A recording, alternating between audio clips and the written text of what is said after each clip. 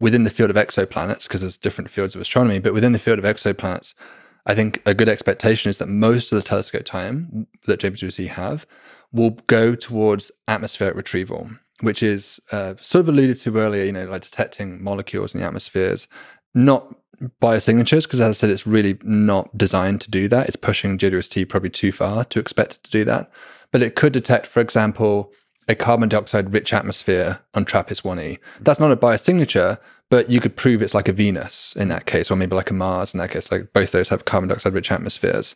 Doesn't prove or disprove the existence of life either way, but it is our first characterization of the nature of those atmospheres. Maybe we can even tell the pressure level and the temperature of those atmospheres. So that's very exciting. But um, there's we we are competing with that, and that I I think that science is completely mind blowing and fantastic. We have a completely different objective, which is in our case to try and look for the first evidence of these small moons around these planets, um, potentially even moons which could be habitable, of course. So I think it's a very exciting goal, but um, attack has to make a human judgment essentially about which science are they most excited by, which one has the highest promise of return, the most uh, highest chance of return. And so that's hard because if you look at a, a planetary atmosphere, well, you know most of the time the planet has an atmosphere already. It, it, and so there's almost a guaranteed success that you're going to learn something about the atmosphere mm-hmm. by pointing JWST at it. Whereas in our case, there's a harder sell. We are looking for something that we do not know for sure exists yet or not. And so we are pushing the telescope to do something which is inherently more risky. Yeah, but the existence, if shown, already gives a deep uh, lesson about what's out there in the universe. But That means that other stars have similar types of variety as we have in our solar system. They have an Io, they have a Europa, and so on, which means like there's a lot of possibility for icy planets, for water, for planets that enable planets and moons that, that, I mean that that's super exciting because that that means everywhere through our galaxy and beyond th- there is just innumerable possibility for weird creatures. I agree. Life forms. I, you don't have to convince me.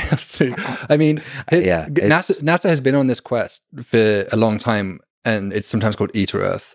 It's the frequency of Earth-like, usually they say yes. planets in the universe. How common are planets similar to our Earth in terms of um, ultimately we'd like to know everything about these planets in terms of the amount of water they have, how much atmosphere they have. But for now, it's kind of focused just on the size and the distance from the star. Essentially, how how often do you get similar conditions to that? Um, that was Kepler's primary mission, and it, it really just kind of flirted with the answer. Didn't quite get to a definitive answer. But I always say, look, if we're looking, if if that's our primary goal, to look for Earth-like I would say, worlds, then moons has to be a part of that because we know that um, Earth-like, from the Kepler data, the preliminary result is that Earth-like planets around sun-like stars is not an inevitable outcome. It seems to be something like a one to ten percent outcome. So it's not particularly inevitable that that happens. But we do often see about half of all sun-like stars have either a mini Neptune, a Neptune, or a Jupiter mm-hmm. in the habitable zone of their stars. That's a very, very common occurrence that we see. Yet we have no idea how often they have moons around them, which could also be habitable. And so there may very well be, if, it, if even one in five of them has an Earth like moon or even a Mars like moon around them, mm-hmm. then there would be more habitable real estate in terms of exomoons than exoplanets in the universe. So you can essentially 2x, 3x, 5x, maybe 10x the number of habitable, habitable worlds mm-hmm. out there in the universe.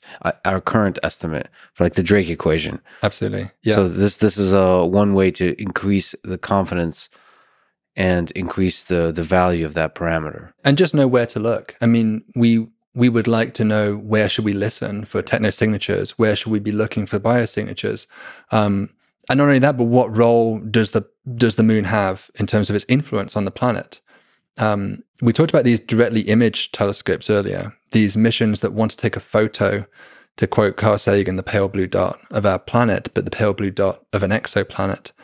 And that's the dream to one day capture that. But as impressive as the resolution is that we are planning and conspiring to design for the future generation telescopes to achieve that, even those telescopes will not have the capability of resolving the Earth and the Moon within that. It'll be a pale blue dot pixel, but the moon's gray grayness will be intermixed Mhm. with that pixel.